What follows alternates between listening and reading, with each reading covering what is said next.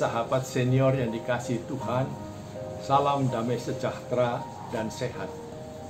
Saya Pendeta Emeritus Jona Hengki Wirakotan dari Jemaat GKI Kebayoran Baru.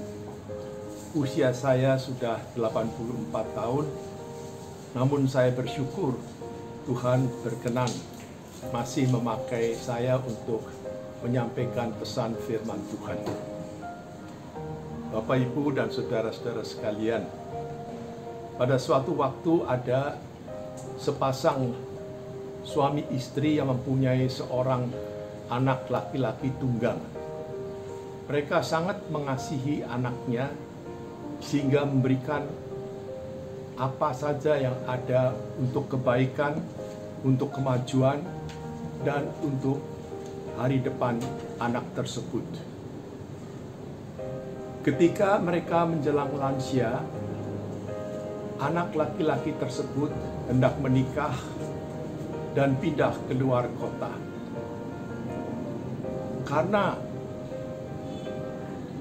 mereka sangat mengasihi anaknya, dia rela menjual rumahnya dan memberikan uangnya kepada anaknya untuk membeli rumah dan pindah di luar kota. Bahkan mereka juga bersedia untuk pindah ke luar kota. Namun apa yang terjadi? Anak menantu perempuannya tidak mau menerima mereka di dalam rumahnya. Sungguh suatu hal yang sangat menyedihkan dan mengesalkan mereka berdua. Tetapi bersyukur mereka mempunyai teman-teman. Dan ada seorang teman yang bersedia menolong meminjamkan rumahnya.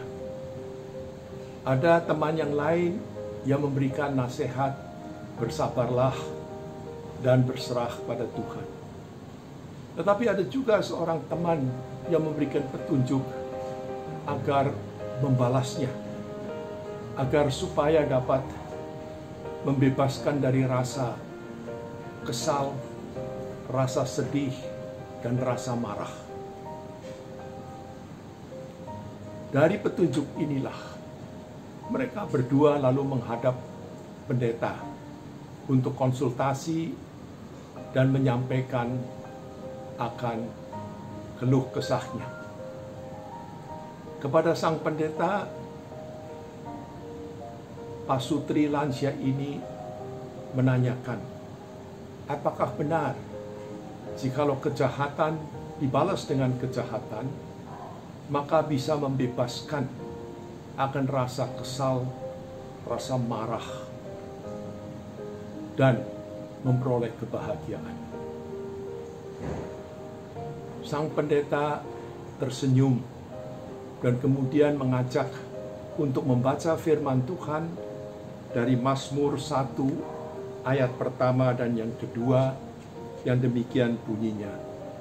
Berbahagialah orang yang tidak berjalan menurut nasihat orang fasik, yang tidak berdiri di jalan orang berdosa, dan yang tidak duduk dalam kumpulan pencemooh, tetapi yang kesukaannya ialah Taurat Tuhan, dan yang merenungkannya Taurat itu siang dan malam.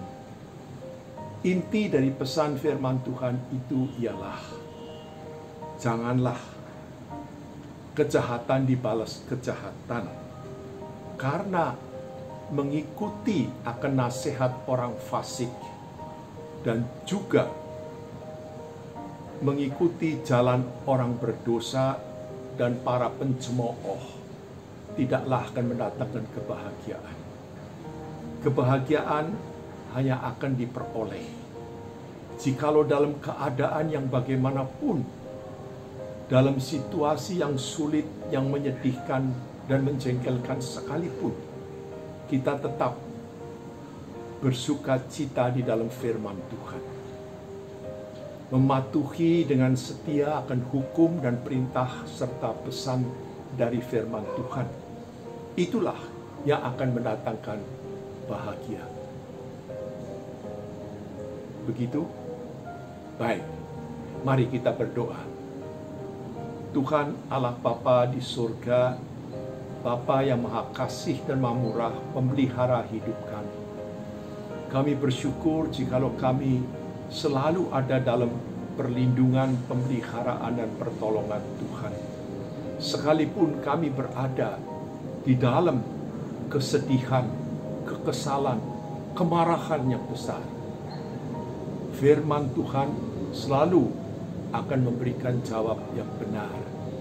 Oleh karena itu berterima kasih kalau Roh Kudus selalu mau mengingatkan dan mengajar kami akan firman Tuhan. Agar supaya kita tidak mencari kebahagiaan dengan jalan yang keliru seperti nasihat orang fasik atau jalan orang bodoh dan pencemooh. Tetapi tetap setia dan taat mengikuti akan pesan firman Tuhan. Terima kasih banyak Bapa di dalam Kristus Yesus Tuhan dan Juru Selamat hidup kami. Kami mohon. Amin.